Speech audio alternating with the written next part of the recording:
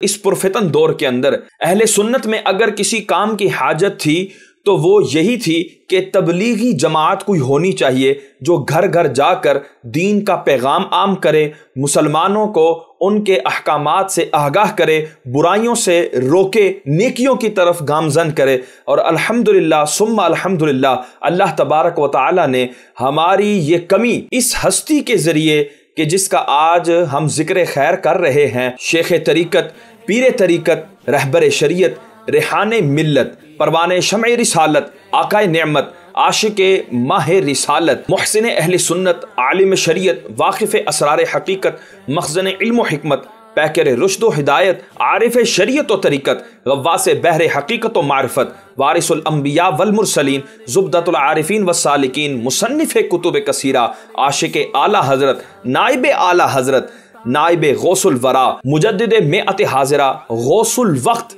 अमीर अल सुन्नत, अबू बिलाल, मेरी मुराद, मोहम्मद इलियास अतार कादरी रजवी ज़ियाई, दामत बरक़ातुमलिया हैं। इलियास कादरी साहब ने जो इस उम्मत मुसलिमा पर दावत इस्लामी के ज़रिए एहसान किया है, ये एहसान अजीम मदनी चैनल के ज़रिए भी है, ये एहसान अजीम जामियात के ज़रिए, मदारस के ज़रिए और तबलीगी जमात की सूरत में जो आपने इस उम्मत पर किया है, मैं कहता हूँ अगर थोड़ी देर के लिए ये तस्वुर कर लिया जाए कि दावत इस्लामी नहीं है तो सिवाय अंधेरे के कुछ नज़र ना आए। इस मर्द कलंदर ने दावत इस्लामी के ज़रिए जो इस उम्मत पर एहसान किया मैं कहता हूँ, काम को सलाम होता है और ये सैदादा जो है, इलियास कादरी साहब को दोनों हाथों से सलाम पेश करता है कि अल्लाह अकबर, आपने जो इस उम्मत मुस्लिमा पर एहसान किया है। मैं कहता हूँ, खुदा की कसम, ये उम्मत जो है, रहती दुनिया तक आपका ये एहसान उतार नहीं सकेगी। और 26 रमज़ान मुबारक को आपकी योम पैदाइश भी है। हम इस पर दिल की अथा गहराइयों से इलियास कादरी साहब को मुबारकबाद पेश करते हैं।